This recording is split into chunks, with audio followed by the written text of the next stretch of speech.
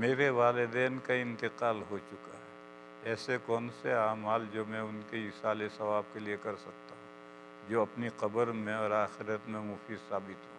ہر نفل عمل فرض اور واجب نہیں۔ فرض اور واجب کا اصال ثواب نہیں ہوتا ہے۔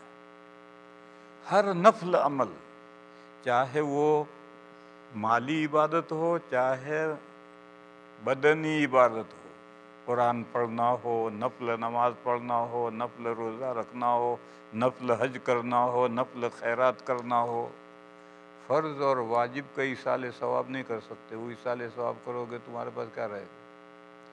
और नफल इबादत चाहे कोई हो, बदनी हो, माली हो, नफल इबादत करके उसका सवाब मरहूम को पहुंचाओ उसका नफा पहुंचेगा उनको।